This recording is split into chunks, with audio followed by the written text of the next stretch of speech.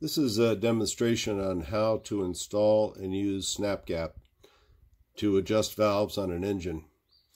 This engine is a engine from a 1973 911T and we're adjusting the intake valve on cylinder number one.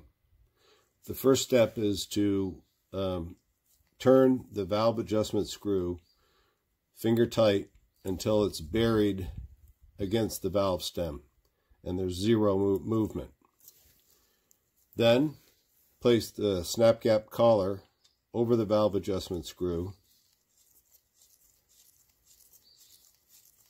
and turn it until it's buried against the rocker arm, finger tight. The next step is to take the SnapGap 10 newton meter preset torque wrench and place it on the collar and tighten to 10 newton meters. After you do that, you take the 2 millimeter hex key and turn it three quarters of a turn or 270 degrees to lock the collar to the adjustment screw. So there's 180 and that's 270 and that's all you need. Once you do that,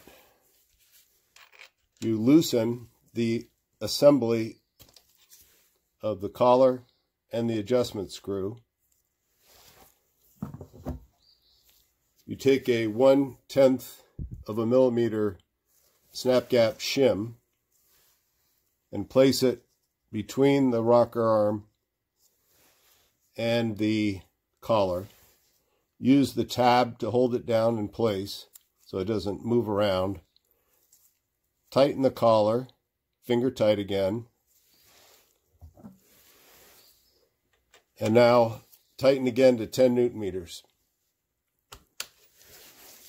You now have exactly a tenth of a millimeter gap between the valve stem and the rocker arm.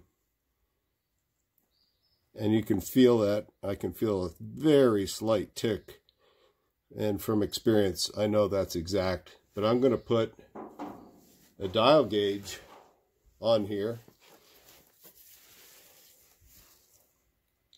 and show you that SnapGap is precise.